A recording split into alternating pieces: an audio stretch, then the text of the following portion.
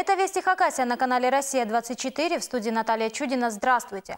Тепло в квартирах абаканцев должно появиться в ближайшие сутки. Как заявили специалисты городских теплосетей, они полностью готовы к зимнему режиму работы. Сегодня утром Абаканская ТЭЦ включила блоки и обеспечила условия для того, чтобы управляющие компании смогли начать подключение к теплу. К слову, сегодня уже потеплело в соцобъектах города. Ну а насколько быстро потеплеют батареи в конкретной квартире, зависит только от ЖЭКов. Коммунальщики должны самостоятельно подключить каждый дом к системе, а их в республиканской столице без малого тысяча. В любом случае, случае управляющим компаниям дано несколько дней на работу. В четверг тепло должно появиться во всех домах абаканцев. До четверга задача полностью подключить весь жилой фонд.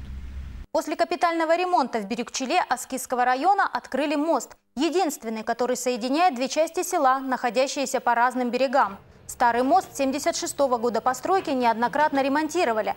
В результате одного из таких обновлений нарушили технологию, и за несколько лет переправа пришла в негодность. В августе же этого года жители попросили у правительства Хакасии помочь решить проблему. Строительство нового моста оценили в 9,5 миллионов рублей. При условии 5% от этой суммы выделяет сельсовет, остальные деньги – Министерство транспорта. С работой справились буквально за полтора месяца. Муниципалитету удалось даже сэкономить. Лиственницу и сосну напилили из окрестных лесов. Новый мост, заверяют подрядчики, при должном уходе прослужит как минимум 30 лет. Он же у нас будет на, на балансе. Будем подкрашивать, это же не такое большое. Ну и как по проекту, раз в 6-7 лет вот эта одежда, она должна меняться. Дощатый настил. Федеральный агитпоезд ЛДПР в рамках общероссийского турне прошел через Хакасию – сделав на территории республики три остановки – в Абакане, Аскизе и Бескомже. Во время партийного турне депутаты собирали обращения и наказы. За общением представителей Госдумы с жителями Хакасии наблюдала Юлия Константинова. Валентина Ишмекова, мать Героя России. В 84-м ее сын Александр погиб в Афганистане. С тех пор пожилая женщина одна. Рассказывает, с каждым годом справляться с коммунальными проблемами становится сложнее. Я одинокая, одна единственная осталась. И мне ремонт квартиры нужен. Пенсии мало.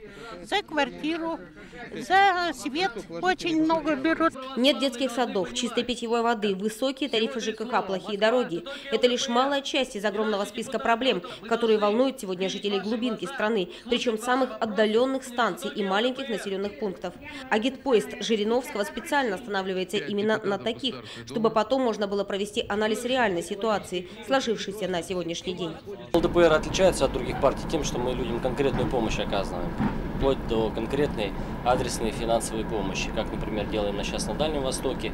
Задача любой фракции в Государственной Думе, конечно, носить и принимать законопроект. Поэтому, если люди обращаются с просьбой, с жалобой на какую-то норму закона, на то, что нужно какой-то закон отменить или наоборот срочно принять какую-то статью, какой-то новый пункт, то мы, безусловно, это немедленно э, сделаем. Уже в ближайшую сессию эти проекты, законопроекты будут внесены. Ответственность за это берут депутаты от фракции ЛДПР, которых в поезде 10 человек. Больше полусотни остановок уже сделано. Впереди еще почти 400. Крайняя точка – Дальний Восток, куда состав везет гуманитарную помощь. Длительность маршрута – 41 день. Абсолютный рекорд для агит-поездов. Главная задача участников которых – слушать и слышать избирателей. Причем не только своих. Юлия Константинова, Владислав Кустовой, Вести Хакасия. Рекорд скоростных продаж мог бы продемонстрировать один из торговцев на китайском рынке. У мужчины за один день опустили прилавки. Впрочем, причина этого совсем не покупатели, а республиканские приставы. Уроженец Киргизии задолжал порядка 160 тысяч рублей в пенсионный фонд, налоговую и кредитное агентство. Сумма копилась не один месяц. Исполнители нагрянули неожиданно в самый разгар рабочего дня. У торговца трикотажем пришлось изъять весь товар, более 100 наименований. Но даже этим весь долг не перекрыть. Сумма изъятого около 30 тысяч рублей. Дело в том, что судебным приставом исполнителям были запрошены все регистрирующие органы. И на сегодняшний день а, из имущества данного а, должника только как раз вещи, которые он а, продавал. Дело в том, что он зарегистрирован в доме, где зарегистрировано очень много людей опять же, так называемый резиновый дом. Соответственно, там не проживает, имущества там его нет. Впрочем, вернуть вещи торговец все же сможет, заплатив по счетам в ближайшее время. Иначе распродажей займутся уже сами приставы. Всемирно известный скрипач, дирижер Владимир Спиваков и его коллектив Государственный камерный оркестр «Виртуозы Москвы» в минувшие выходные выступили в Хакасии. Единственный концерт, посвященный 20-летию Совета Федерации, прошел на сцене драмтеатра имени Лермонтова. В зале не было свободных мест. Посмотреть и послушать виртуозов съехались жители со всей Хакасии.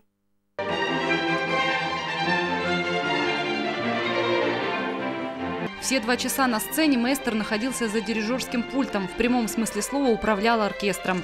В руках знаменитая палочка. Ее в 80-х Владимиру Спивакову, тогда еще начинающему дирижеру, подарил уже всемирно известный Леонард Бернстайн, наставник Спивакова. По словам Владимира Теодоровича, с тех пор палочка сопровождает его на всех концертах, стала своего рода талисманом. В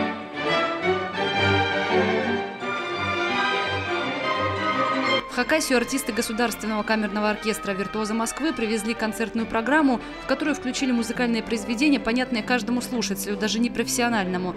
В первом отделении со сцены звучали произведения Моцарта, Россини, Бакерини. Во втором слушатели могли насладиться музыкальными произведениями в исполнении Алексея Неклюдова и Анны Аглатовой, единственной девушки в оркестре. Я получил несколько писем сейчас. Здесь приходят люди, одна женщина пришла с сыном-инвалидом. Она не жалуется ни на что, ни у кого ничего не просит. Она просто счастлива, что мы приехали. Здесь не испорченные люди совершенно, не избалованные. Я очень люблю как раз маленькие города и приезжать в провинцию с большой буквы это слово. Свой коллектив, которому в будущем исполнится 35 лет, Владимир Спиваков называет второй семьей. Вместе каждый день. Репетиции, концерты. 79-го состав виртуозов полностью поменялся. Бессменными остались лишь два человека, в том числе дирижер, солист в одном лице Спиваков. Руководитель всегда давал и дает возможность музыкантам право выбора. Сейчас в камерном оркестре виртуозы, которые хотят, готовы играть и играют на высшем уровне. Владимир Теодорович, как он сам говорит, не строгий руководитель. И в первую очередь это проявляется в возможности каждого музыканта импровизировать, а не слепо следовать партитуре. Так было и на этот раз, несмотря на долгий перелет, новую обстановку, усталость и непривычное для проведения концерта время – 16 часов. Публика не должна ничего видеть, как мы себя чувствуем, устали мы. Должно быть на сцене не видно работы. Тогда публике тоже легко слушать. Концерт пролетел как мгновение. Приятное, яркое и впечатляющее. Слушатели в восторге. Такого в маленькой Хакасии прежде не было. Мечта моя, чтобы Спиваков со своими виртуозами играл на хакасской сцене. Вот выше, круче этого, наверное, просто уже быть ничего не может. Скрипка – это изумительный инструмент, который одну и ту же мелодию ведет, и он ее ломает, но при этом сохраняет такое ощущение, что она разбита, и в то же время она едина. Это нечто. Я в восторге от того, что такое ансамбль. Ну, я много слышала о нем. Знала, что там собираются лучшие из лучших. Там каждый человек известен на всю Россию. Мне так понравилось. Я себя, конечно, не считаю владельцем мира, но человека мира мне дали, артист мира. ЮНЕСКО мне такое звание выдала и золотую медаль Моцарта. Медаль Моцарта – высокая награда ЮНЕСКО, которую вручают за выдающиеся заслуги в области искусства самым виртуозным музыкантам. В России обладателей такой медали только трое – музыкант Мстислав Ростропович, балерина Майя Плесецкая и Владимир Спиваков. Наталья Громашова, Антон Михайлов, Вести Хакасия. На этом у меня все новости. После вестей смотрите рубрику «Интервью». Сегодня в ней речь пойдет о лекарственном обеспечении льготников. Тема, безусловно, важная для многих жителей республики, так что не пропустите. А я с вами прощаюсь, хорошего вам вечера и увидимся на канале «Россия-24».